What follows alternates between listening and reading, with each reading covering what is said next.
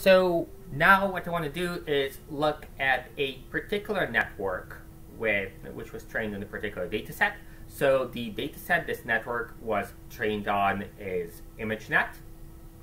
And as you can see in ImageNet, so this is basically the training set here. So you have an object class called consomme, and you have another object class called Alp. You have another one which is volcano. Here you have right, so you have starfish, stuff like that. So you have 1,000 object classes in all in this data set. And what the network does is just like with people before, we put in an image and what we want to get is we want to get an output uh, that says what kind of object is in this image. Uh, so here we have the first example. So this is the image and you can guess at what it is. So the correct answer is hay and you can see, so Google predictions means GoogLeNet predictions, so this is the particular network. Uh, and as you can see, so the top five predictions, so if you want to think about in terms of the Zs, it's like the Zs with the highest values correspond to hay, soccer ball, and so on. Okay, so you can try another one.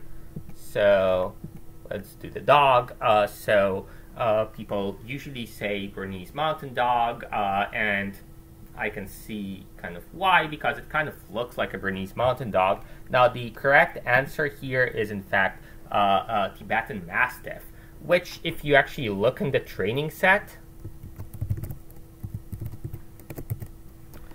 uh, you can see why people would think that. Uh, so you can see why people would think that it's a, a Bernese Mountain Dog but in fact, it's just a, a, uh, uh, Bernese-looking uh, Tibetan Mastiff, as you can see uh, from the images there.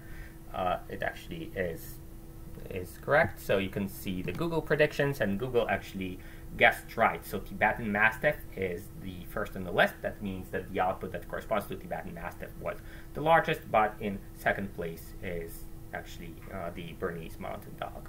So, okay,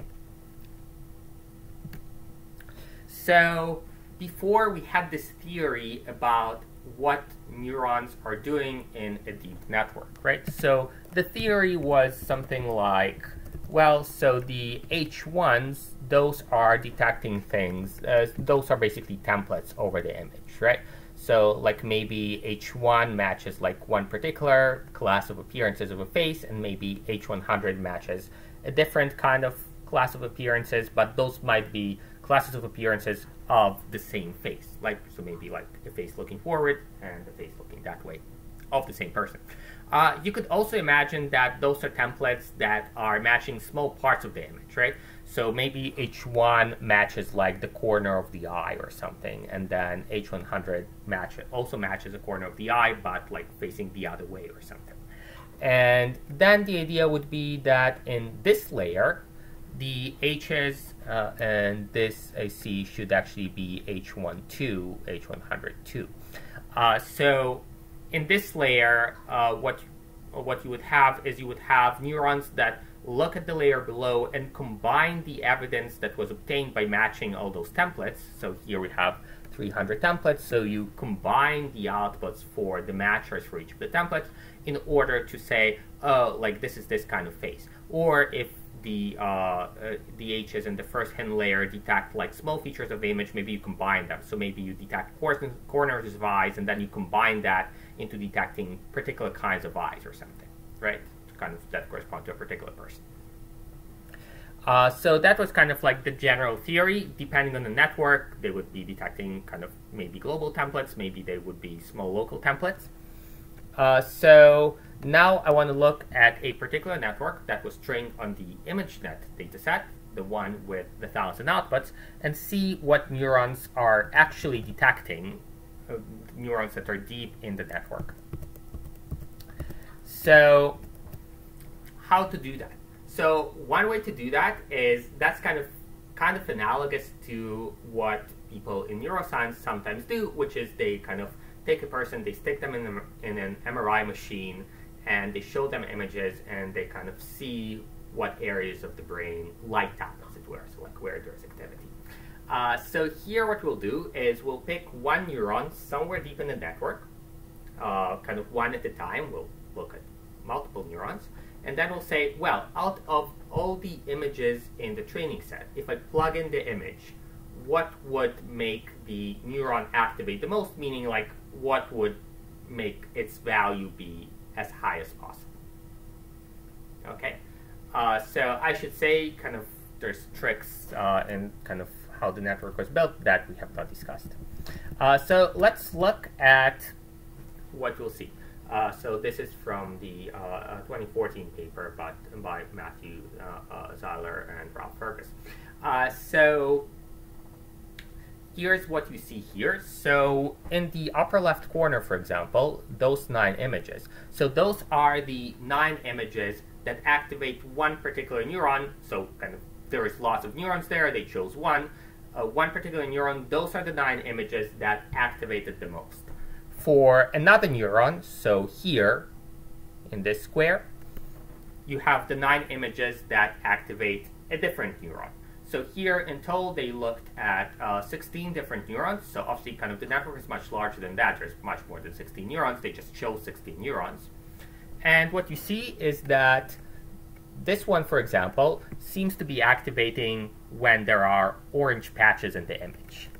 This one seems to be activating when there are kind of circles in the image. This one seems to be uh, liking kind of lines in the image and seemingly kind of approximately vertical lines. So this is in layer hidden layer number three. So here's hidden layer number four, and here you see more interesting stuff that's going on. So the upper left one uh, seems to be uh, detecting well, not really dogs. It's more like things that kind of look like dog faces with like a dark stripe, a bright stripe, and a dark stripe, right? Uh, this neuron seems to be activating when there are wheels in the image. Uh, this one seems to be detecting kind of like weird round patterns. So in layer 5, you get really interesting stuff, right? So there is one neuron which would activate when there is a unicycle in the image. There is another one which seems to specialize in creepy eyes. I'm not sure if this is an eye, uh, but mostly creepy eyes. There is one for dogs. So you see kind of the deeper you go in the network, the more abstract in general would be the concepts that uh, uh, each neuron activates. So just because kind of the neuron combines evidence in layer four, five combines evidence from layer four, which in itself combines evidence from layer three. So you can kind of describe more complex concepts by saying, well, I'll, I'll combine evidence from simple pattern matchers, and then I'll combine evidence over those things, and then I'll combine evidence over those things again. So the deeper you go into, into the network, the more, in general, the more abstract would be the category that each neuron would react to. I should say that a lot of the neurons in a neural network would not be interpretable in any way. They would just be doing something that's not clear what. So here's another thing that you can do, separate from that, in order to try to explain kind of how the network works, why does it output the things that it does. So for each pixel in the input image, you can ask, say, if I change this pixel a little bit, right? So I pick pixel J, how would that influence output I? So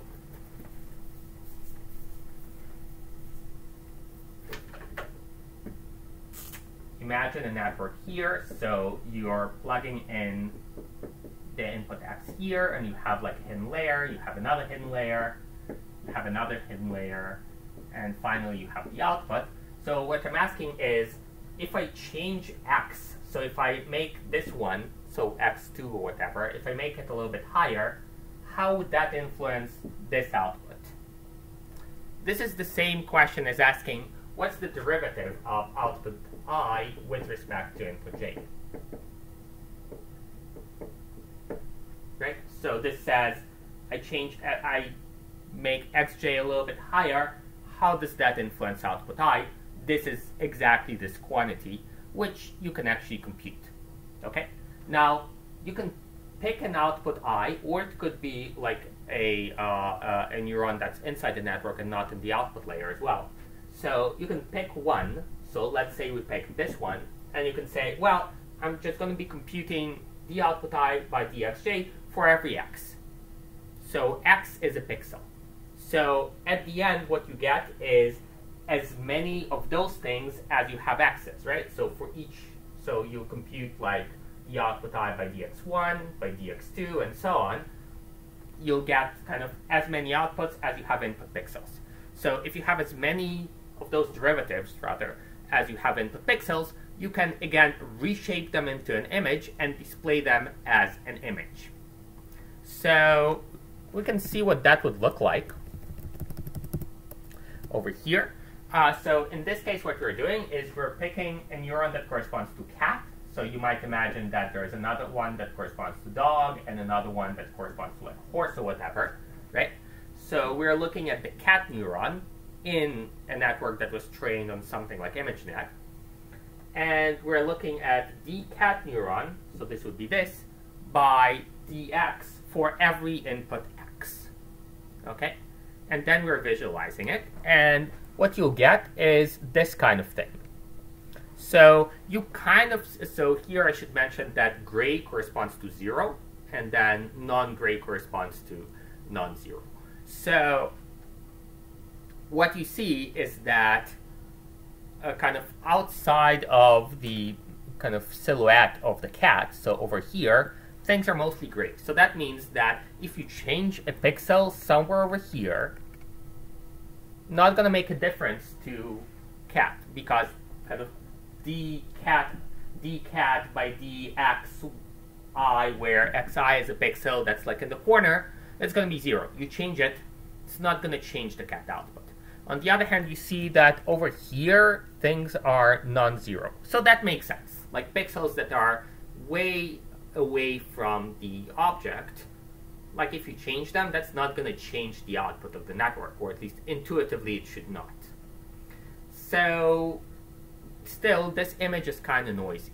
So there is an alternative way of computing things. So this is called guided back propagation. So if you apply guided back, back propagation, uh, you'll get an image like that. So what this indicates, so gray again is zero.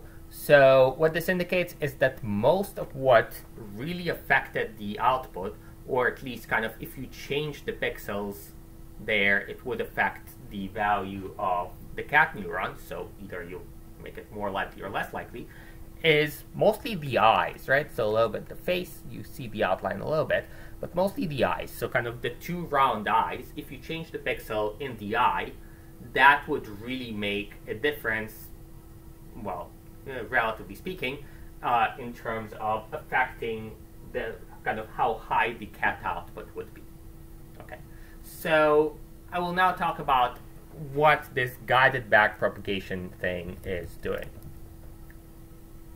So think about it this way. So you have like a cat image as an input, right? And you're interested in whether this pixel, if you increase the value, so you increase the brightness a little bit basically, right? Whether that, how that's going to affect the output of the cat neuron. Okay. So intuitively that pixel, like if you look at it this way, it could be counted as evidence for a dog ear over here, or it could be counted as evidence for a cat eye because this pixel is like part of the cat eye, or you could imagine it's like part of a dog ear, right? However, kind of the way the network is built, evidence for dog is actually evidence against cat. So that means that when you try to increase the value, the intensity of that pixel, two things happen. You have more evidence for cat, we assume, because like this affects cat. But you also have more evidence for dog, which means less evidence for cat. So there's like conflicting evidence here. So one idea is to say, well, I only want to consider like positive evidence. I don't want to consider negative evidence. So keep in mind that like it could be kind of uh, an intermediate kind of thing as well, right? So like this pixel could be like evidence for a part of an ear, which kind of downstream would affect the evidence for dog ear, and then only then would it be kind of evidence for dog, which means evidence against cat. So the way this network, the, the network that we saw is built, like evidence for dog does not mean evidence against cat, but uh, in you, usually what you would have is you would have like if you increase the value of dog, all things being equal, the value of the cat neuron will decrease. So here's one way to look at things. So rather than saying if I increase xi a little bit, how is that going to affect P1, for example, or PM? What I want to do, uh, PM in this example. So what I want to do is I want to say I just want to consider paths where all the edges are positive. So what does it mean for an edge to be positive here? It means that if I increase xi, hj increases if, they, if this edge is positive. If this edge is positive, that means that if I increase hj, then hn is going to increase, and so on. So what I want to say is I just want to consider positive evidence, not kind of negative evidence, which is like evidence against stuff. So I don't want to consider kind of the fact that if I increase xj, that also increases evidence against this being a cat because it increases evidence for this being a dog. So I don't want to consider any path from xi to any of the h's here where the edge is negative because that means that you increase x, that makes like the, the uh, template detector in this layer be depressed, so it's evidence against this particular template being matched. I don't want to con consider that.